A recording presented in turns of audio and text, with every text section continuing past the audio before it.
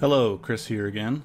Let's go ahead and use some of the tools that I have taught so far to make a low polygon um, simple jet fighter as practice. So I would encourage you to follow along as I do this. Feel free to obviously pause the video or rewind. I'll do my best to um, narrate what it is that I am doing. And then when you're done with this, I would encourage you to go ahead and make your own. So I'm going to start by creating a cube. I will scale it in the X. I hit R to go to my scale tool, something like this. Let's make it a bit shorter as well. I'm going to hit Control Shift X to go to my multi-cut tool. And I'm going to drop an edge loop here, and here, and maybe here. And then I'll go to my face, uh, go to face mode, select those faces, um, hit Control E, and I will offset them inward like this. And then I will hit Control E again to extrude again and pull them up like so.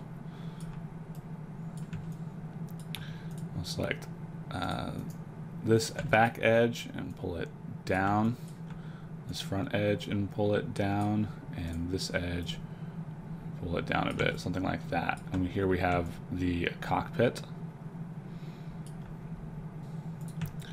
And let's go ahead and take these two faces and extrude them again and just maybe pull them up a little and then scale tool to scale them in a little. I'm going to take this front face and scale that in like this. I'll take these bottom faces and pull them up a little bit. Take this front edge and move it down. Let's drop an edge loop in the middle by hold going to the multi-cut tool, holding control and middle mouse clicking then double click on this edge loop and I'm going to bevel it to split the edge and increase the fraction. Then I'll go to face mode and select these faces, extrude them, hit W, and then move those faces down a bit. And then I will scale it in like this and in like that. Let's make another edge loop. And I dropped it right there. Let's do the same thing where we double click on this edge and bevel it to split it.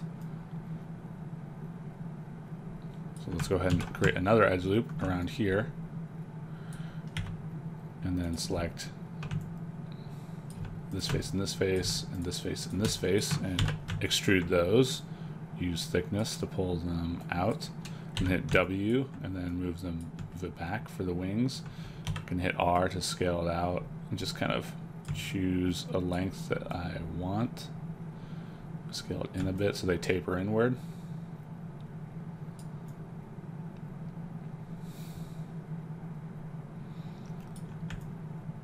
I'm going to select these faces, hold shift and select these faces, and then hit W and move this down a bit.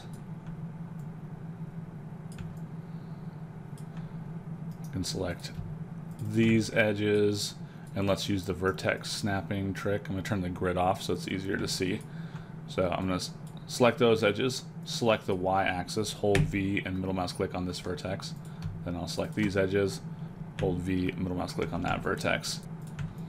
Next I'll select this face and this face and extrude. And I'll use the word thickness to pull this out like so. And I'll take these, extrude, and pull them up like this. Then I'm going to drop an edge loop in the center here. And I'll do the same thing where I double click on the edge loop, bevel it, and then control the fraction, something like this. I'll take this new face, extrude this face, pull it up, scale it in, move it back a little bit. Take these faces, extrude, use offset to do something like this, then extrude again, thickness to pull this in, then on the back side, same thing, extrude, offset, uh, and then extrude again and thickness to pull that in like so. Then let's take these faces and these faces and extrude them, pull them out. And we'll take these faces and these faces, extrude them, pull them out, and hit R to scale them in, and then W to move them out a little bit, like that. I want to make sure these faces are flat, so I'm going to select all these. Hit the R, uh, hit R to go to the scale tool, and then just make sure they're flat by doing that.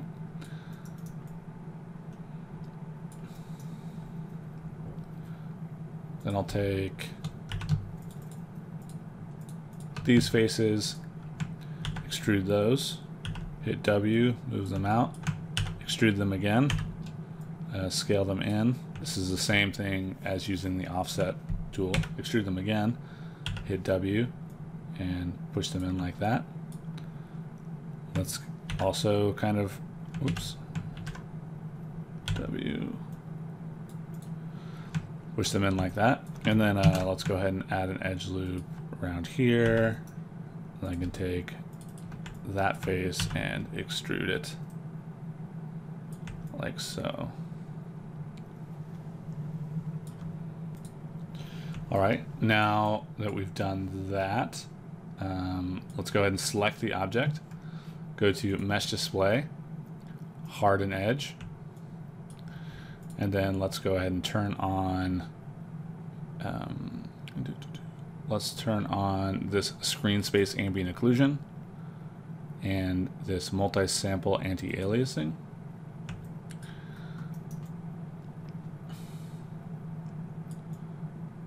see what it looks like. And we've made a little fighter jet. Uh, obviously, you could keep pushing this, or you could make your own. Um, but there's an example of just using, starting from a cube and using the multi-cut tool, the bevel tool, and the extrusion tool to very quickly make um, something that you know you could push further. Let's go ahead and delete the history on this by selecting it and clicking on that. And from here, I could export it to texture um, after I UV unwrapped it. And we'll see you in the next video.